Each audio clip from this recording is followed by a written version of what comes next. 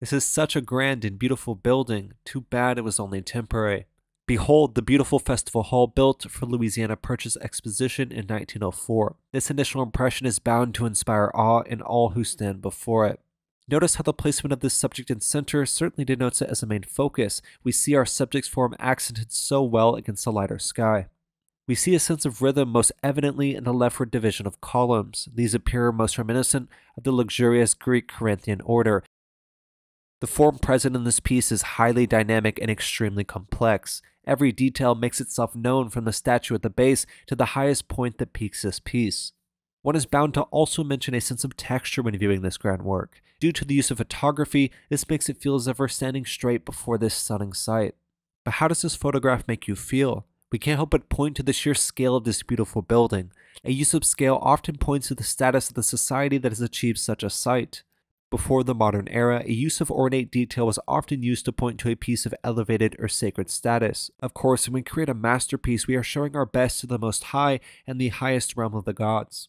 The Louisiana Purchase Exposition, also known as the St. Louis World Fair, was an event held in the American state of Missouri to celebrate the centennial anniversary of the 1803 Louisiana Purchase. This is a hundred years later, of course, held in 1904. The photograph we're looking at presents Festival Hall, one of many buildings commissioned during the event. This building was designed by the architect Cass Gilbert, and this building was used for massive musical pageants hosting the world's largest organ at the time. And although this site is no doubt beautiful, it was built using a temporary plaster called staff. Of course, meant only to be an ephemeral site, almost all of the buildings made for the exposition were demolished soon after the event. Here are some additional perspectives of this grand and beautiful construction. It's hard to say what the city of St. Louis would have looked like had this building and many others been preserved with longer lasting materials. But despite this thought, we're blessed to have photographs that still survive to this day. After all, it's hard to imagine what it'd be like to stand in the midst of such a grand and beautiful building. The piece before us was created using the medium of photography in 1904, and then we have additional edits to add the element of color.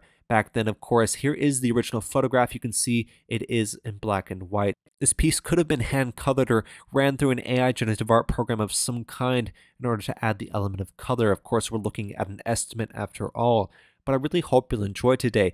This piece could not be tied to any one individual photographer, but it is owned by the corporation known as the Official Photographic Company. So, like I said, just absolutely blessed to have a photograph that still survives to this day. I really wish this building still existed. I would absolutely love to visit it. But once again, I really hope you'll enjoy today. If y'all did, go learn a little bit more about the Louisiana Purchase Exposition, also known as the St. Louis World Fair. This is Festival Hall, but there are so many beautiful buildings that were created for this event, but sadly, they were only temporary. But that's all I have for today. Once again, really hope you'll enjoyed. My name's Apollo. This was Apollo Art Analysis, and I'll see y'all on the next episode.